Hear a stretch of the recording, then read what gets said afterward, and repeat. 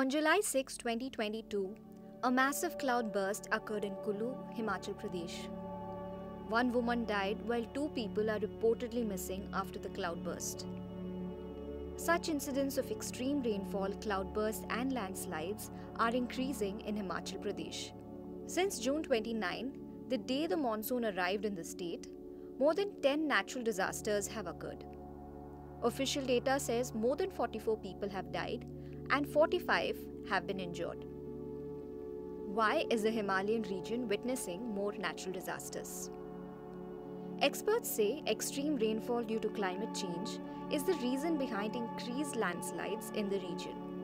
According to an IIT Delhi study, climate change is triggering heavy rainfall and destroying steep slopes with loose soil, causing landslides. In India, about 73% of landslides in the Himalayan region are rainfall induced. Extreme rainfall indirectly leads to water drawdown and soil erosion. The study finds both water drawdown and soil erosion causes landslides. Water drawdown triggers 2% of landslides and soil erosion 14%. Only 3% of landslides are caused due to earthquakes. However, natural calamities are not entirely quantifiable. How extreme rainfall causes landslides. In recent years, climate change has led to extreme rainfall in the Himalayan region.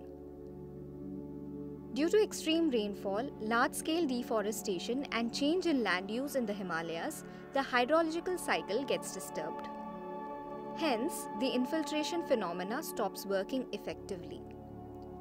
Using infiltration phenomena, rainwater on the ground surface enters the soil. Usually, 50 to 60% of the rainwater gets absorbed into the ground to recharge groundwater. However, due to degradation of the landscape, the water stops percolating and soil loses its holding capacity. This causes water to collect over the ground, loosening the soil, leading to landslides.